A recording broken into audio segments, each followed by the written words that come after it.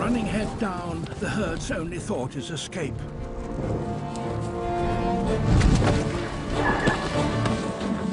A stroke of luck for the wolves.